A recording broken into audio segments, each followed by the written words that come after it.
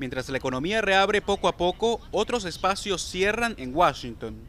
Los alrededores de la Casa Blanca continúan resguardados tras los recientes hechos violentos y los intentos de derrumbar estatuas confederadas en la capital estadounidense. Esos espacios públicos están ahora bajo vigilancia.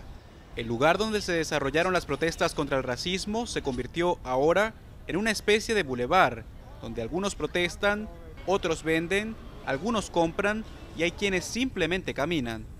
Esta imagen es común en el centro de la ciudad, cerca de la Casa Blanca.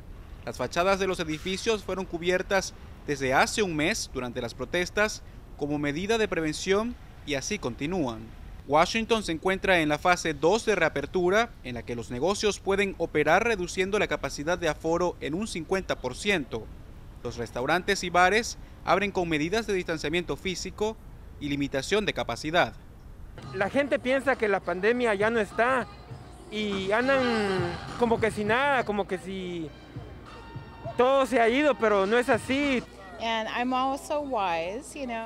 También soy prudente, ¿sabes? Me cuido, me mantengo alejada, solo salgo un poco con algunos amigos. Washington reporta más de 10.000 casos confirmados de coronavirus y 551 muertes. Jorge Agobián, Voz de América, Washington.